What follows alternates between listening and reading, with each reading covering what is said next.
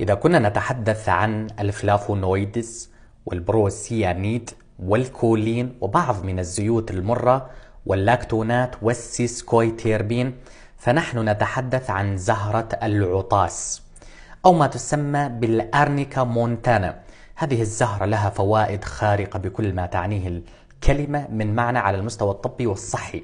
هي مسكنة للآلام ومضادة للالتهاب وإذا كان هنالك لديك أثر للجروح فهي تعالج الآثار الخارجية للجروح أو الآثار الخارجية ما بعد الحمل أي تشققات الحمل بكل أنواعها سواء كانت البيضاء أو الحمراء أو البيضاء المتداخلة مع اللون الأحمر.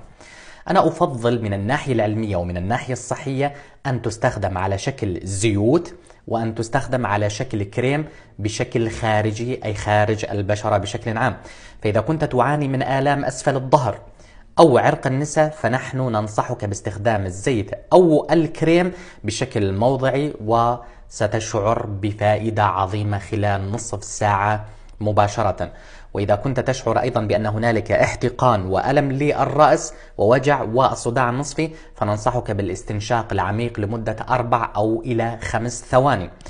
ويضاف في هذا الأمر أنه إذا كان لديك جروح معينة أو ندبات أو تشققات معينة فهي تعالج الجروح الموضعية الخارجية من البشرة عبر تطبيق الكريم الموضعي أو الزيت الموضعي الذي يكون أو يحوي على نسبة عالية من الأرنيكا مونتانا أو زهرة العطاس.